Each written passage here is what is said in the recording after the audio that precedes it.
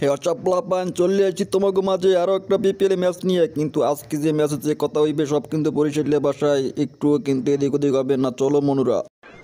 বসে যান। বসে যান। এই মনুরা তোরা বাঁচতে আসছো তোকে দিয়ে প্রথম ম্যাচে মোরা হাতে হারিকেন ধরাই দিলাম। এখনও তোরা আসনি। ও কি কন ভাই মোরা আমি সারিয়ে দিছি প্রথম ম্যাচ বড় ভাই হিসাবে।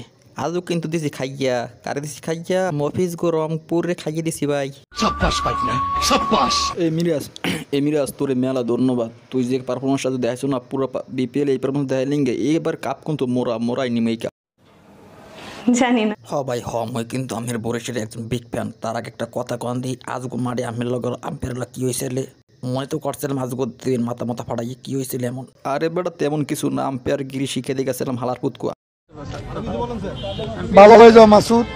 আপনি মাসুদ ভালো মুই জীবনও ভালো হব না বিসিবির বিপক্ষে এক কর্মই করব। তবে আজগো আপনারা যে যাই কর না কেন আজগো এনামূলক বিজয় ওইটা জীবন হয় উঠতেন না হালার কানা আম্পায়ার যত। ভাই মুখ তো পুরোই অবাক।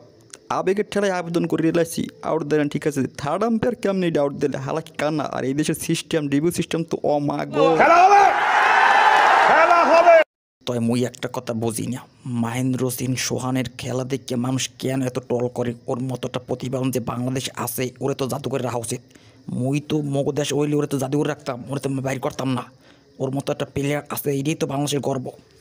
ভাই, কি কমার দুঃখের কথা, যাইতেছে না মোর পেটে ব্যথা। এই দেশে বারো লোকের কদর জীবন হয় নাই। আমি আর সোহান, এগো মতো কি পালো ব্যাসমানের কি পের হয়? সেই মোগল লইয়েই বেশি ট্রোল করে এই দেশের মানুষ। ভাই মোগল লই যান লই যান এই দেশে থাকতে ভালো লাগে না। আজকের মতো মুই শামসু বিদায় নিচ্ছি দেখা হবে আগামী পর্বে।